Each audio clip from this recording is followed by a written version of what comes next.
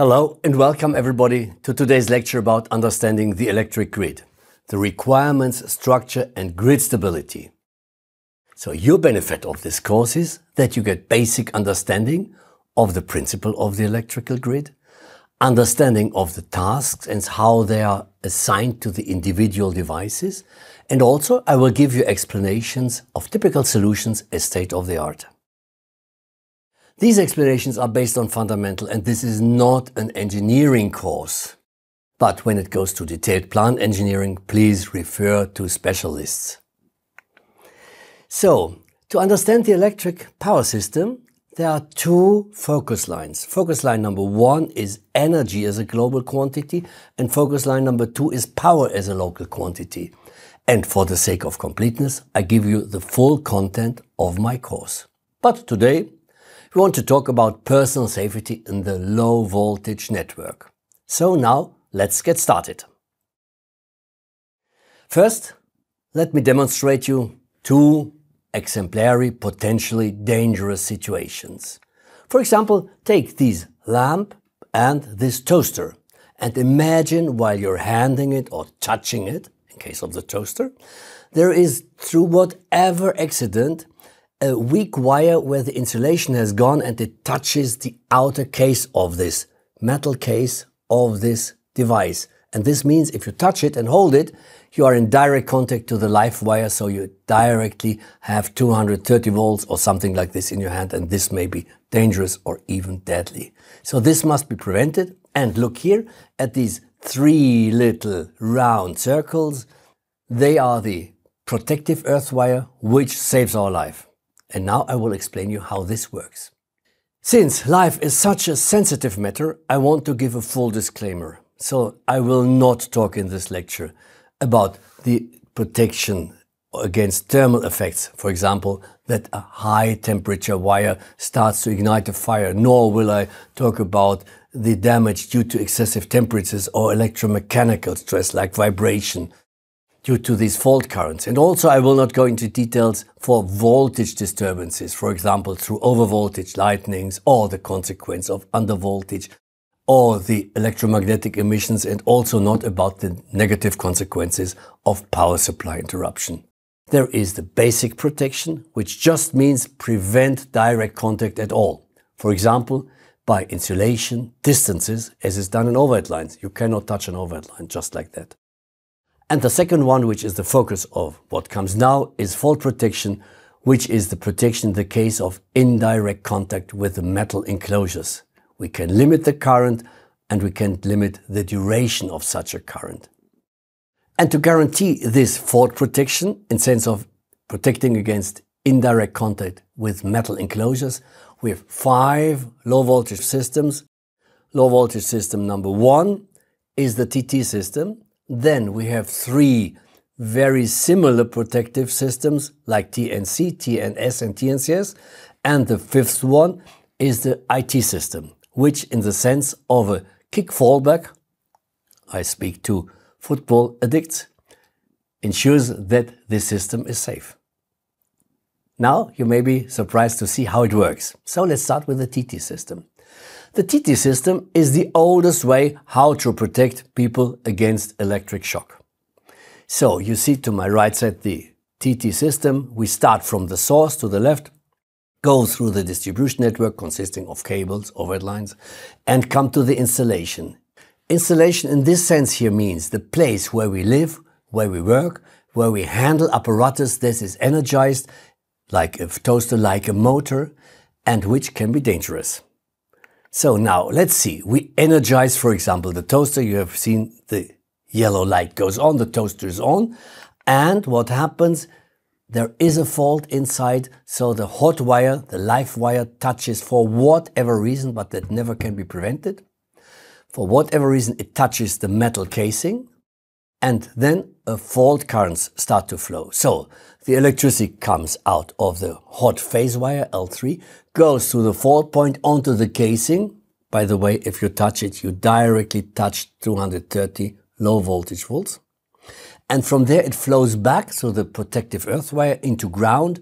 And since currents always must flow on closed circles, comes back through ground, through the physical ground to the source and here it re-enters the system and we have a closed fault loop, closed fault loop. And since the current is high enough, it will trip this protective device and since the circuit is now interrupted, it is safe. So, you know these protective devices in case of single phase circuits, sometimes they are fuses or miniature circuit breakers and in the case of three phase circuits, you usually have miniature circuit breakers, like to be seen here on my right hand side. I think everybody knows these. Now, there is one weak point in this concept. It is the return path through ground, through physical ground. Imagine that you live in a country where we have dry soil. This dry soil is a bad conductor and this may be so high in terms of resistance that it depresses the current and the current is too low to trip the fuse or to trip the miniature circuit breaker and then we have a problem. That means our faulty device is still energized but it is not tripped out. You will be curious what can be done and this brings us to the next chapter. So, we are still in a dangerous position and now the TNC system relieves this problem. The TNC system is basically the same as before, but now you see now to the bottom right side of my slide, you can see the casing is directly connected through this protective earth wire with the colors green and yellow. It is connected to the neutral wire in color blue. And this neutral wire is grounded at the source, but in many cases also on the way from the source to my installation.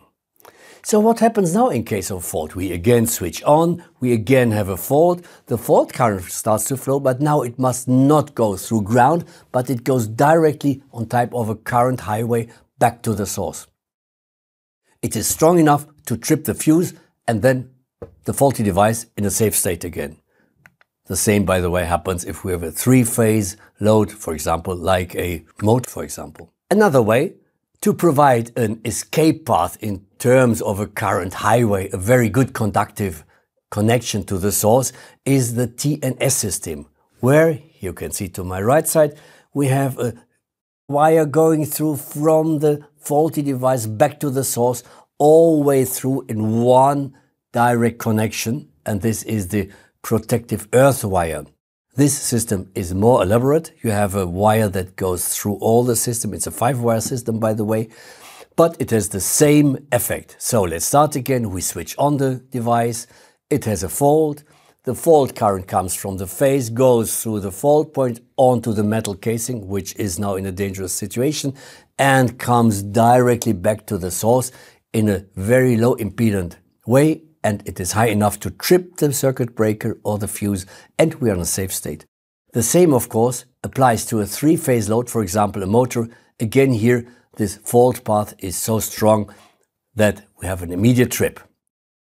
So in the combination of these two is the TNCS system. You see it already from the letters. And the TNCS system is a combination. So locally in the installation, it's a TNS with a separate protective earth wire. And this earth wire is connected at the entrance of the installation, for example, at the central distribution point of this installation to the neutral wire. So now again, we energize the device. We have a fault and the fault current goes on a low impedance and low resistance way back. It's high enough to trip the circuit breaker. It is safe. And again, we can do this in a three phase load system.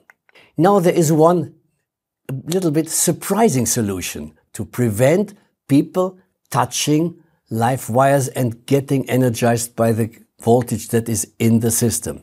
It is like I speak to the football players amongst you, like a kick fallback. It's the so-called IT system. And when you look at the IT system, you can see at the source that it is the no connection anymore between the source neutral and ground. Now, what happens if we have an insulation fault? Again, the same procedure comes. We switch on the device, we have a fault, and now let's see how about the fault current. How does it work its way through? And now it comes. The fault current cannot re-enter the source again, so it is not possible for the fault current to flow into the source. And so therefore we have no fault current, not at all. So this means now there is no fault current, though we have an insulation fault inside that device. And the good question is, is it safe or is it not safe? Yes, it is safe. Let's see why.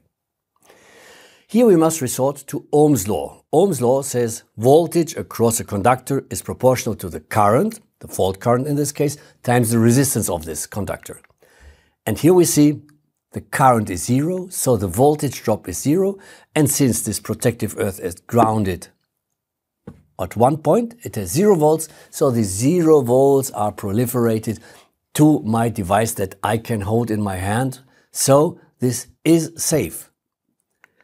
The same, by the way, happens in three-phase load. And what is important, the load stays energized. So this means we have an insulation fault.